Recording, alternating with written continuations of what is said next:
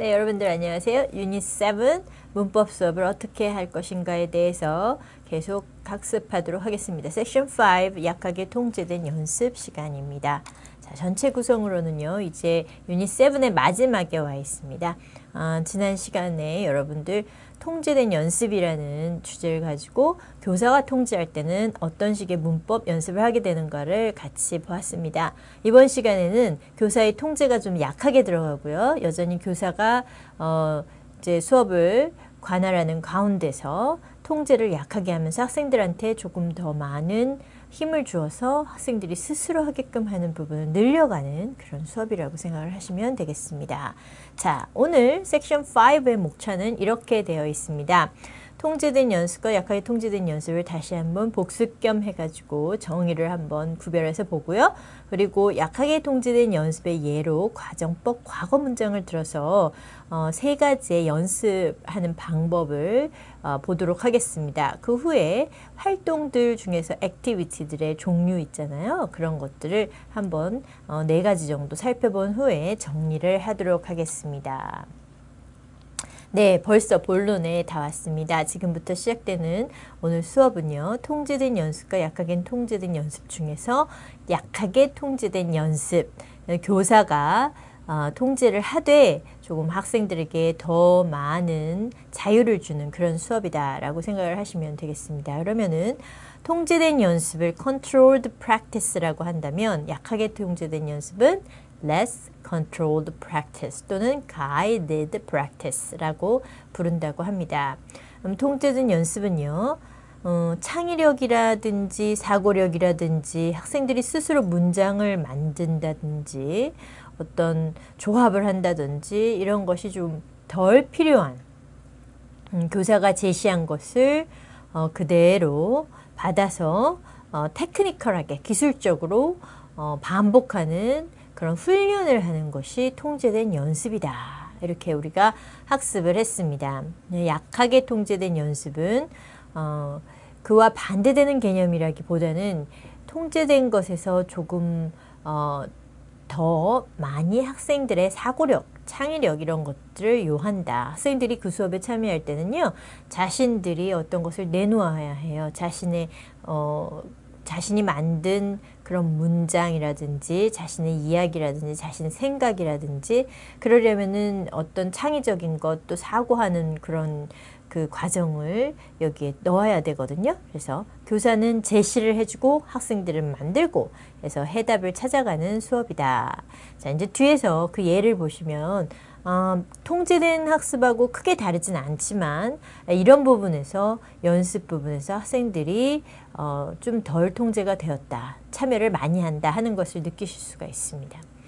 자, 이런 약하게 통제된 연습은요. 어, 그 수업에 그 마지막 부분에서 많이 쓰입니다. 특히 이제 문법 수업으로 진행이 될 때는 음, 문법에 대한 그 요소들을 아주 뭐 직접적으로 설명을 하는 시간을 먼저 가, 먼저 가졌다면 마지막에 이 요소들을 가지고 실생활에서 활용할 수 있는 말로 만들어서 학생들이 어, 자주 쓰는 그런 말로 만들어서 할 수 있는 어, 그런 연습을 할 수 있도록 마지막 부분에 주로 마지막 활동으로 쓰인다고 합니다. 학생이 학습한 문법 지식과 내용을 활용하여서 의사소통. 그러니까 우리의 마지막 그 단계의 목표는요. 의사소통이 잘 되는 것이 우리의 목표입니다. 그리고 의사소통 능력의 향상을 가져와야 되거든요. 그래서 문법 학습을 하더라도 항상 의사소통을 어, 마음에 두고 어떻게 하면 학생들에게 의사소통 능력을 향상시킬 수 있는 기회를 주는가를 생각을 하는데 이렇게 약하게 통제된 연습을 통해서 의사소통 능력 향상을 또 불러올 수 있다고 봅니다.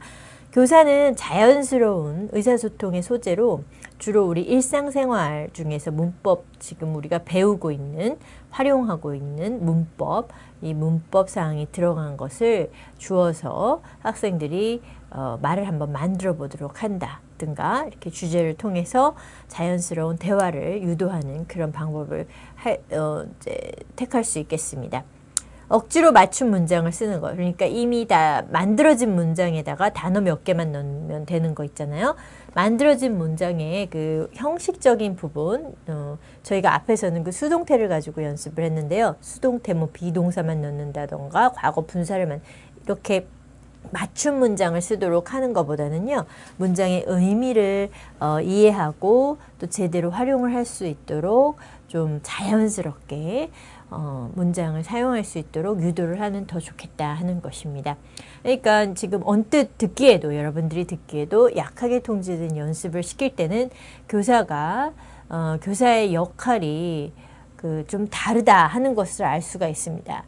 통제된 연습은 교사가 모든 것을 관장하기 때문에 교사가 준비한 대로 학생들이 하고 그 이상의 것은 하지 않습니다. 그런데 약하게 통제된 연습은 교사와 학생의 상호작용에 의해서 수업이 되는 것이기 때문에 학생들의 답에 따라서 또는 어, 학생들의 아이디어에 따라서 교사가 대응해야 되는 것이 다를 수가 있습니다. 그리고 교사가 제시할 때도 옆에서 도와주거나 어떤 어, 전체적인 그 내용을 주거나 하는 것이지 직접적으로 아주 일일이 세세히 다 주고 그걸 해보라고 하는 것은 아니다라는 것을 알 수가 있습니다. 그래서 양쪽이 다 교사의 준비가 필요하지만 어떻게 보면 어, 그 약하게 통제된 연습에서는 교사가 역할이 다르기 때문에 조금 더 많은 준비를 해야 되지 않나 하는 생각을 해봅니다. 이런 문법 학습도 궁극적으로는 의사소통 능력을 향상시키기 위한 수업이므로써 이제 학습한 문장 형식을 사용할 수 있는 생활의 수단 이거는 이제 반복되는 말이니까 여러분들이 마지막에 어떤 의사소통과 관계된 그 문법 activity를 약하게 통제된 연습을 하고 싶다 할 때는 생활과 관계된 학생들의 생활과 어, 좀 밀접한 그런 주제를 택해서 어, 말 만들기를 시키시면 좋겠다는 것으로 어, 마치고 다음 장으로 넘어가 보도록 하겠습니다. 네, 가정법 과거 문장을 가지고 한번 어, 세 가지 정도 활동을 보도록 하겠습니다. 이 세 가지 활동은요. 첫 번째는 학생들이 가정법 과거와 현재를 구별, 구별시키는 그런 연습을 하는 거죠. 그리고 두 번째는 어, 학생들에게 스스로 문장을 만들 수 있는 연습을 주는 거고요. 세 번째는 교사가 던진 조건절에 의해 교사가 이제 먼저 말을 하고 마치, 마치는 것을 학생들이 할 수 있도록 그러니까 complete sentence를 학생들이 말로 하든지 뭐 글씨로 쓰든지 할 수 있도록 하는 그런 활동 세 가지를 한번 예를 들어 보도록 하겠습니다. 자, 첫 번째 연습은요. 학생들이 과정법 과거와 현재를 구별할 수 있다. 이제 과정법 과거를 배우는 그런 시간이에요. 그러면은 가정법 과거를 배우는 어, 시간에 뭐 그 현재 가정법 현재와를 문장을 주어서 서로 그 구별해서 차이를 볼 수 있도록 하면은 학생들이 이해하는데 쉽다라는 겁니다. 두 문장을 비교하도록 하는 것은 다른 점을 확실히 보여줄 수 있다. 그러나 학생들이 직접 만드는 것보다 문적 구조를 활용하는 능력을 키우는 것은 어, 어렵다. 이것은 이제 여기에서 약하게 통제된 것이기 때문에 학생들에게 그 바로 이렇게 두 문장을 주고 비교하라 하는 것보다는 학생들이 어, 이런 경우에는 어떻게 말하겠느냐, 저런 경우는 어떻게 말하겠느냐 해서 그 문장들을 학생들에게 받는 것이 조금 더 약하게 통제된 경우가 될 수 있겠습니다. 그래서 어, 그, 구, 선생님이 이거를 비교를 하겠다고 해가지고 두 개를 다 들고 와서 보여주게 되면 통제된 학습이 되니까요. 주의사항으로는 학생들에게 그 문장을 만들어서 어, 예문을 제시할 수 있도록 기회를 주고 학생들이 내놓은 예문을 가지고 문장 구조를 비교한다던가 하면은 조금 더 어, 통제가 덜 된 수업이 될 수 있겠습니다. 두 문장을 비교할 때는 이런 효과가 있죠. If I had a million dollars, I would buy a big house. If I have a million won, I will take a trip to Japan.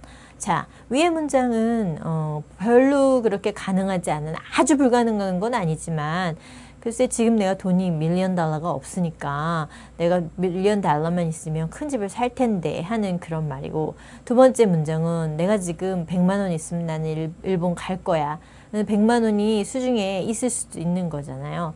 그러니까 그리고 트립을 갈 수도 있는 거고요. 마음속에 가고 싶은 거예요. 이거 제 얘기입니다. 제가 너무 가고 싶은데요.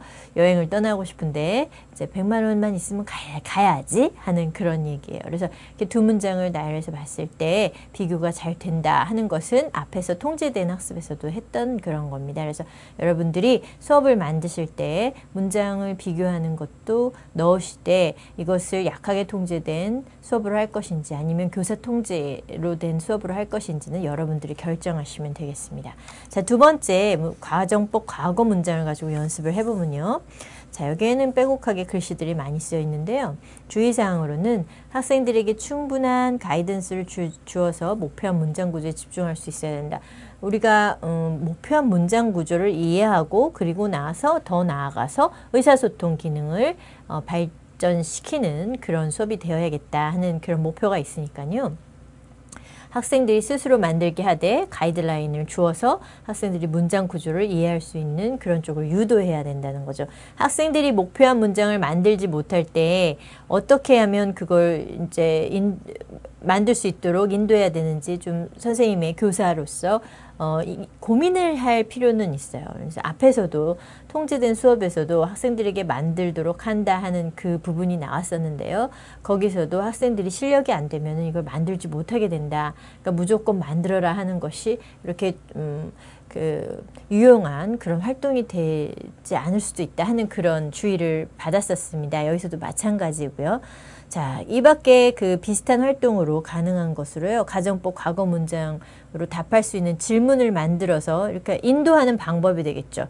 어, 목표한 문장을 자, 만들 수 있게 질문을 던져준다던가 짝을 지어서 서로 묻고 한쪽에서 질문을 만들고 한쪽에서 답을 만들으라고 해서 어, 둘이 같은 활동을 하는 것 시지만 서로 각각 다른 문장을 만들어서 묻고 답할 수 있도록 하고 녹음도 해보고 들어보고 하면은 여러 가지의 능력을 향상시키는 수업이 될 수 있겠습니다. 학습한 문법 형식을 사용할 수 있으면서 학생들이 답을 또 생각해야 되니까 어 이제 학생들의 그 자신들의 어떤 그 사고력 이런 것들이 들어가는 거죠. 한 학생과 대화한 후에 교실을 돌아다니면서 다른 학생과 대화할 수 있도록 또 선생님이 지시를 할 수도 있고요. 이제 돌아다니면서 질문하고 답을 얻어오고 거기 녹음을 해와라. 뭐 이런 식의 그런 activity를 여러분들이 어, 어, 이렇게 활용을 할 수 있는 activity를 만들 수가 있겠습니다. 자, 과정법 과거 문장을 스스로 만드는 또 다른 액티비티로는 짝을 지어준 후에 카드 세트를 나눠주고 뭐 카드에는 주제 같은 게 들어있어 가지고요. 지금 만드는 그 폼이 있고 그 폼을 만들 수 있는 다른 주제를 주고 주제에 대해서 어, 묻고 대답하기를 시킨다든지 아니면 그 주제를 받은 사람이 그 문장을 만들어서 소리내서 말한다든지 이런 것들을 어, 할 수가 있겠습니다. 이게 지금 여기에서는 주로 pair work 한 학생이 어떻게 하면 다른 학생이 어떻게 한다 하는 pair work으로 많이 얘기를 하고 있습니다. 자, 세 번째는요. 차트를 완성하는 것인데 이것도 마찬가지예요. 뭐 카드를 뽑으나 아니면은 어, 뭐, 뭐 귓속말을 하나, 차트를 보고 하나 어쨌든 간에 어떤 약간의 그런 어, 퀴즈 형식의 그런 요소를 가미를 해가지고 물어보는 학생이 차트에 있는 내용으로 질문을 하면 답한 학생이 자신이 만들어낸 내용으로 과거문, 과정법 과거 문장을 만들어 답을 하고. 그래서 자꾸만 그 사용할 수 있도록 하면서 어, 그 폼을 익힐 수 있도록. 우리의 궁극적인 것은 의사소통 그 다음에 그 전에 완성돼야 될 것은 어, 폼 문법 그 지금 공부하고 있는 가정법 과거 문장을 익히는 것입니다. 그래서 둘 다 잘 될 수 있도록 어, 이렇게 연습을 해보면 좋겠습니다. 자, 세 번째는요.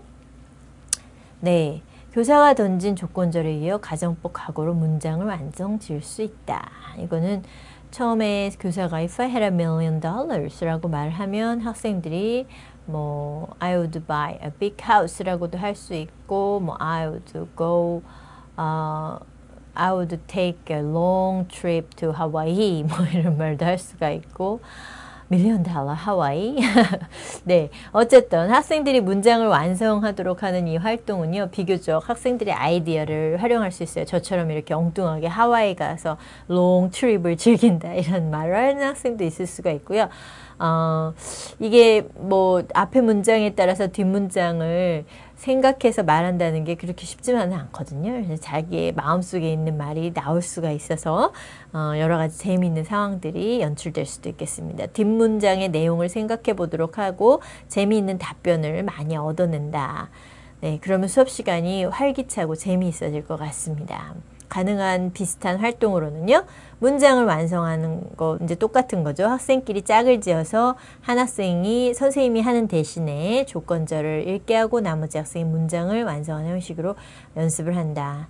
어, 이거 뭐 앞에도 마찬가지입니다. 학생들이 서로 묻고 대답하기를 하게 되면 듣고 말하기 학습으로 이어질 수 있는 활동이 되는 것은 당연하고요.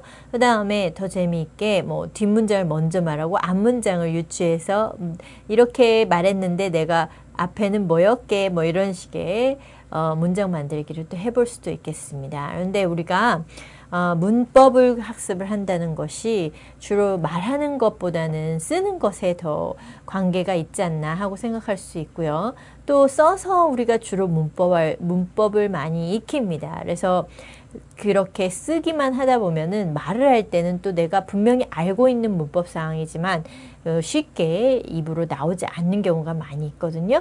그러니까 어, 문법 사항을 포, 그 포커스를 맞추되 그것이 듣기, 읽기, 말하기, 쓰기에 다 관련돼서 활동이 될 수 있도록 어, 여러분들이 잘 그 수업을 디자인하시기 바랍니다.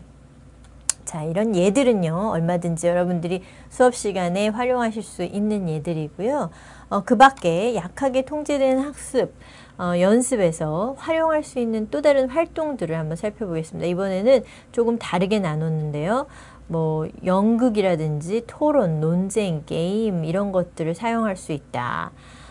어, 구체적으로 앞에서 이렇게 뭐 둘씩 짝을 지어서 이걸 묻고 저걸 하게 한다. 둘씩 짝을 지어서 뭐 어떻게 한다. 이런 것이 아니고요. 그런 어떤 페어월이 아니라 조금 더 그 단체, 좀 더 큰 그룹 안에서 어, 이제 할 수 있는 활동 전체를 놓고 할 수 있는 활동, 수업을 클래스룸을 디자인하는 활동이라고 보시면 되겠습니다. 어, 여기에서 이제 약하게 통제된 연습이기 때문에 좀 더 다양한 이런 활동들도 사용할 수가 있어요. 저희가 그 유닛 7, 섹션 4 바로 전 시간에 학습했던 것에서는 통제가 많이 되었기 때문에 선생님이 준 것만 가지고 학생들이 연습을 해야 돼요. 그렇게 할 때는 어떤 다른 뭐 그 요소들 어 게임이라든지 뭐 어떤 그런 좀 재미난 요소들을 접목시키기가 어려웠습니다. 그런데 어 이런 수업에서는 재미난 요소들 학생들이 학업을 학습을 좀 흥미롭게 할 수 있는 그런 요소들을 접목할 수 있어요. 그런데 이 모든 수업에 이, 이 주의할 점은 이것이 너무 재미 위주로 가게 된다던가 그렇게 돼서 처음에 이제 학습하려고 했던 문법 사항을 완전히 잊어버리고 어, 이렇게 어디에 가 있는지 학생이 모를 정도로 이렇게 수업이 좀 잘 진행이 안 되는 어, 소란스러워지는 경우도 있어요. 그래서 일단은 여러분들이 어떤 것을 어, 마음속에서 좀 활동을 active한 활동을 진행해야겠다 생각하신다면 어, discipline도 잘 되어야 됩니다. 학생들이 교사의 말을 잘 따르고 그 정해진 룰을 잘 따라서 그 활동을 성공적으로 마칠 수 있도록 여러분들이 지도를 해야 되는 그런 문제도 있습니다. 자, 그러면은 하나씩 보도록 하겠습니다. 다양한 활동들의 1번에는요, role play가 나오는데요. 롤 플레이, 뭐, 연극이라고도 할 수가 있겠고요. 뭐, 음, 연극이라고 하기에는 좀 더 이제 소규모겠죠. 그냥 pretending 해보는 거죠. 뭐, 뭐, 누구인 척하고 해보고. 어, 뭐, 다이얼로그를 주고, 너는 A에 나는 B 할게. 근데 이제 우리 실제 이러는 것처럼 정말로 해보자. 뭐, 이렇게 해서 하는 게 롤플레이 아니에요? 그래서 실제 상황과 같은 조건으로 연습을 해볼 수 있는 장점이 있다. 그러니까 어, 이건 내가 하는 게 아니라 그 역할이 되어서 하는 거죠. 역할극인데 연극보다는 역할극이라는 말이 더 어울리겠네요. 역할을 역할을 맡아서 해보자. 교사가 효과적인 롤 플레이 상황을 만들어서 학생에게 제시해야 된, 되는 점이 있어요. 이제 좀 너무 무조건 롤 플레이를 시킨다던가 좀 몸이 건조한 롤 플레이를 시킨다던가 아니면은 어, 그냥 읽고 다이알로그를 읽는 정도인데 뭐 이걸 롤플레이라고 한다던가 하는 것은 맞지 않고요.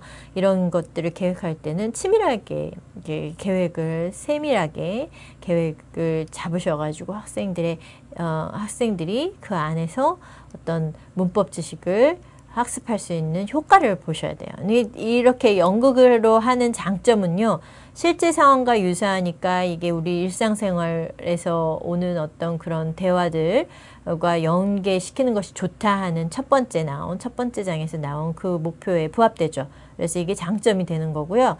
또 연극을 하는 거니까 플레이니까 자기가 뭐 좀 약간 성격이 쑥스러움을 많이 탄다던가 소극적이라든가 하는 사람들 여기 보면 소심하거나 수줍음이 많은 학생도 너는 이제부터 네가 아니야. 네 연극하는 거야. 백설공주다. 이렇게 해서 백설공주 옷을 입히고 뭐 직접 옷을 입힌다기보다 이제 마인드 커스튬을 입히고요. 이제 어, 하도록 하면은 어, 뭔가 좀 다른 것을 이끌어낼 수 있지 않나. 왜 외국어를 배우면은 그 second ego, 그러니까 자아가 좀 다른 자아가 어, 있다고 하잖아요. 그래가지고 아예 자신 원래 본연의 자아는 내려놓고 어, 영어를 배우는 다른 자아를 꺼내서 만들어가는 캐릭터를 만들어가는 그런 것도 수업에서 활용할 수 있지 않습니까? 롤플레이 시에 어, 학생들의 그런 어, 마음 상태를 어, 이용해서 수업을 한다면 좀 재미있어지지 않을까 싶습니다. 단점으로는요. 실제 상황과 혼동할 수가 있어요.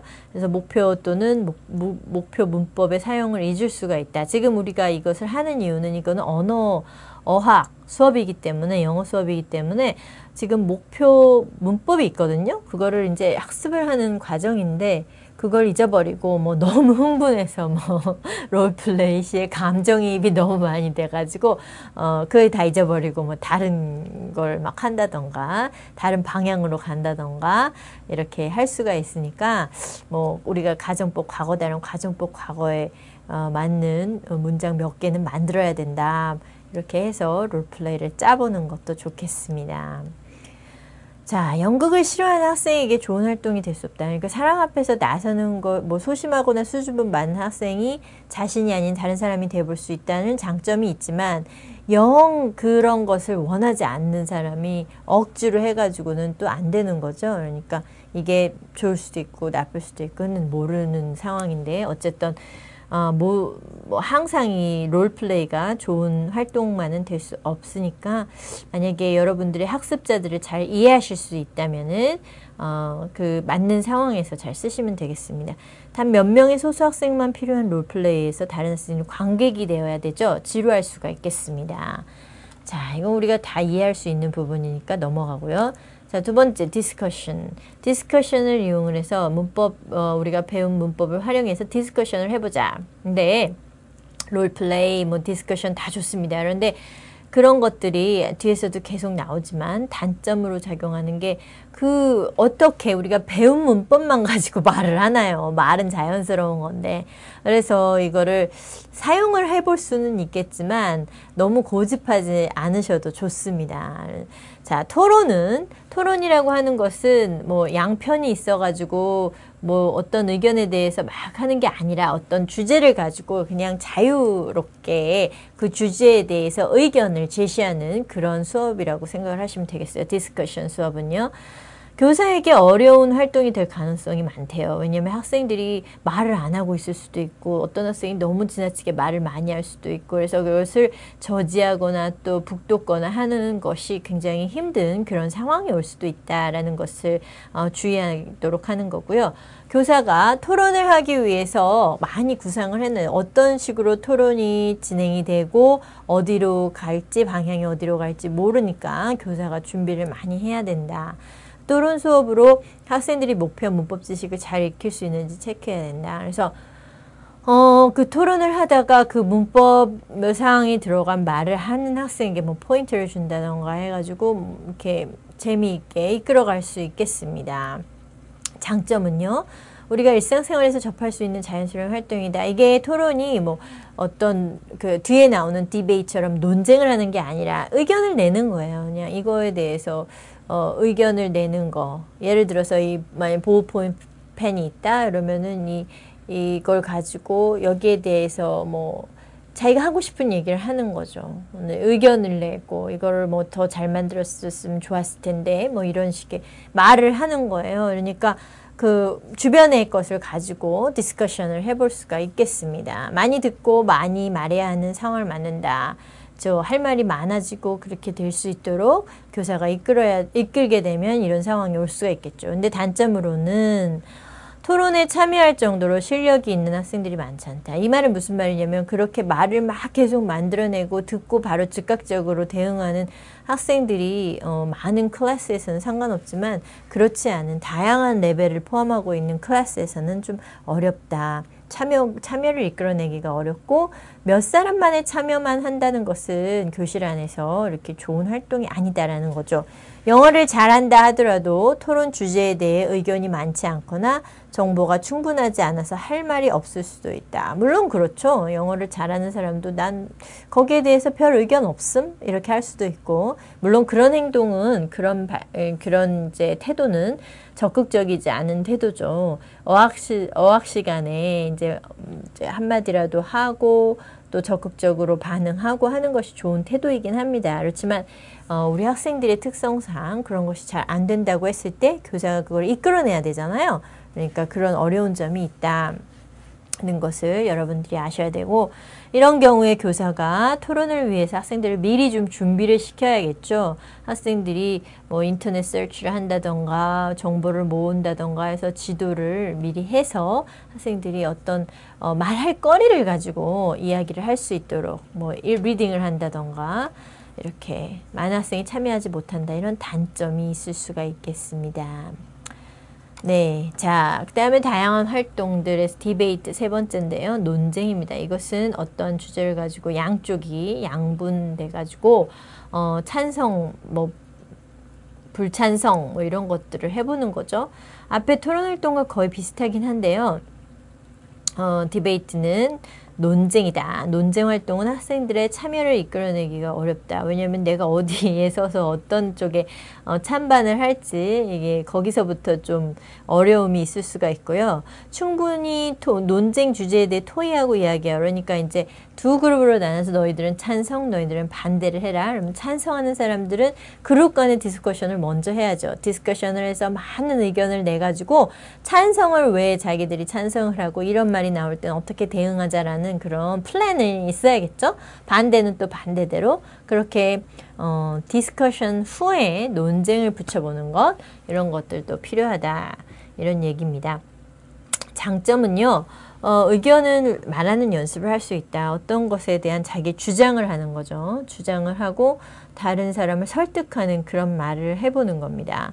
다른 사람의 말을 확실히 이해해야 자신의 주장을 펼 수 있다. 그렇죠. 들어야 저쪽 말에 공박을 하죠. 그러니까 듣는 어, 어떤 listening skill에도 도움이 된다는 겁니다. 단점으로는요. 논쟁을 위해서 그룹을 만들 때 어, 여기도 아니고 저기도 아닌 학생들 마음이 가야 말이 나오죠. 그죠? 내가 정말 찬성하지도 정말 반대하지도 않는 학생들 그런 문제가 또 생길 수가 있고요. 이건 영어 시간에 하는 활동이지만 교실에서 의견에 따라 편을 가른다거나 좋지 않은 분위기 이거는 이제 나이가 어린 학생들일수록 더 그렇습니다. 이제 공과 사가 구별이 안 되는 예, 실제 생활과 연극이 구별이 안 되는 사람들일수록 어 이제 저 너희 너희 나랑 반대지? 뭐 이렇게 해가지고 편가르기 이런 게 가능할 수가 있으니까 어린 학생들에게 이런 걸 시킬 때 좀 유의하시고요. 이 의견이 없는 것을 이유로 참여를 기피하거나 예를 들어 자기가 영어가 좀 짧아요. 그래서 말하기 싫어요. 그럴 때는 I don't know. 나는 몰라. 그냥 그 말 한마디로 나는 아무 생각 없어. My mind went blank. 내 마음이 지금 blank야. 뭐 이렇게 해서 그냥 그렇게 피해버릴 수가 있죠. 그러면 아주 적극적인 참여를 차, 참여를 이끌어내기가 어렵습니다. 그런 어, 문제점이 있을 수가 있겠고요. 마지막으로 게임입니다. 게임 활동은요, 우리가 좋아하죠. 아이들 많이 좋아하고, 어, 즐겁습니다. 즐겁고, 이게 어떤, 어, 또 그 장점이 있냐면은 이런 거 게임을 하다가 흥미가 높아지면은 또 영어가 좋아지고 이런 것도 있을 수가 있어요. 그런데 어, 이 게임이 너무 게임에 치중을 하다 보면 그 수업 목표, 학습 목표하고 좀 멀어지는 경향이 있어요. 그리고 어수선해지고 어, 본론을 잊어버린 채 너무 그 게임의 그 승부에만 급급한 그런 현상도 나타나거든요. 그래서 잘 활용하시기 바랍니다. 게임은 자연스럽게 언어 학습을 할 수 있는 많은 활동 중에 하나의 활동이고요. 알리바이라는 게임을 예를 들어보면요. 어, 경찰이 어떤 학생을 경찰로 두고 어떤 학생을 용의자로 둡니다. Police officers and suspects 이렇게 둘로 나눠가지고 경찰이 범행에 대한 질문을 하면 알리바이를 말한다. 이거 뭐 좀 그런데요. 뭐 이렇게 범행을 저지르고 알리바이를 막 성립하고 이런 거는 우리 일상생활에서 그렇게 도덕적이지 않은 것 같은데 그래도 재미로 한번 해볼 수가 있겠죠. 어. 그 우리가 명탐정 이야기 이런 걸 좋아하니까 음, 현재 진행형 수업을 하면서 이런 게임을 사용한다면 다음과 같은 표현을 이용할 수가 있다. 그래서 경찰이 What were you doing last night at 8 o'clock? 너 8시쯤 뭐 했어? 물어보면 용의자 I was eating dinner with Mary. Mary하고 밥 먹었는데 그래? Mary 메리는 뭐야? 메리 전화번호가 뭐야? 뭐 네. 자, 장점과 단점을 살펴보겠습니다. 장점으로는요, 즐겁게 학습할 수 있죠. 벌써 제가 뭐 게임 나오니까 막 이렇게 웃음이 나오잖아요. 여러분들도 마찬가지실 거고요. 딱딱한 학습상을 벗어나는 즐거움이 있죠. 단점은 그래서요, 게임은요, 아이들한테 상으로 주기도 합니다. 너희들 여기까지 뭐 100포인트를 얻으면 너희들이 학, 공부를 잘해가지고 선생님이 포인트를 잘할 때마다 줄 거야. 그래서 그 포인트를 다 모아서 100포인트를 모으면 어, 우리가 지금 재미있게 즐기는 이런 게임을 한번 해보자. 뭐 이렇게 해가지고, 어, 선, 학생들을 어, 이렇게 유도하는 모티베이션, 동기유발을 시키는 그런 수업을 제가 본 적이 있습니다. 자, 단점으로는요. 문법 학습에 적절한 게임을 매번 찾기가 쉽지 않다. 그래서 오히려 문법 학습에 꼭 맞는 게임을 한, 하는, 그렇게 있으면 그걸 선택해서 하는 것도 좋지만, 음, 좀 관련이 없더라도 이 게임을 학습에 어떤 즐거움을 주는 요소로, 상으로 활용하는 것도 좋습니다. 그건 이제 다른 얘기니까요. 우리는 문법 학습에서 어떻게 게임을 활용하느냐 그 얘기를 하고 있으니까.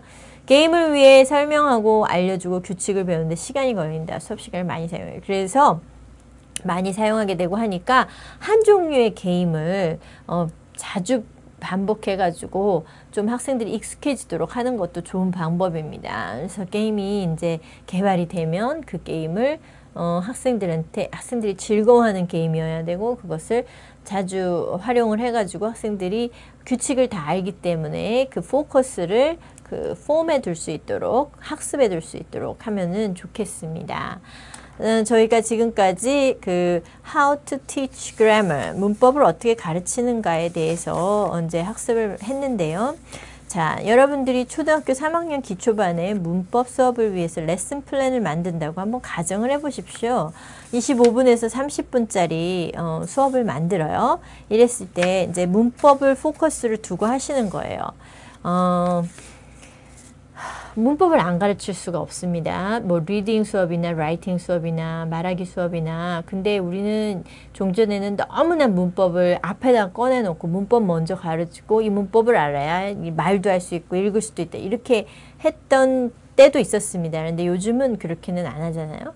음, 큰 context 안에서 그 안에서 이제 문법적인 요소가 나오는데 그 문법적인 요소를 또 뭐 그냥 말로 다 설명해 버리는 그런 그런 수업도 할 수가 할 수 있죠. 그렇지만 그거보다는 어 그런 그 포커스가 있는 그런 수업을 하는 것은 좀 다릅니다. 예를 들어 그 context 안에 context라는 건 글이라면은요. 예를 들어서 글이라면 글 안에 이런 문법 저런 문법 나오는데 다 설명하는 게 아니라 그 한 시간에는 어떤 문법에 포커스를 둬서 그것을 하이라이트를 하는 거예요. 그래서 그 하이라이트한 문법을 학생들이 문장을 읽었잖아요. 그 문맥안에서 어떻게 그것이 살아나서 움지, 음, 살아나서 그 내용을 전달하는 의미를 전달하는 말이 되느냐를 알게 해주는 거죠. 그렇게 하면서 학생들한테 개념 질문을 해서 학생이 그 문법을 에 대한 지식이 있는지도 확인을 하고 그 다음에 그런 것을 활동으로 이어서 어, 선생님이 컨트롤 해도 좋고 less control 해도 좋고 해서 활동으로 이어서 이것을 어, 우리 자신의 것으로 만들어가는 과정을 선생님이 도우시는 거예요.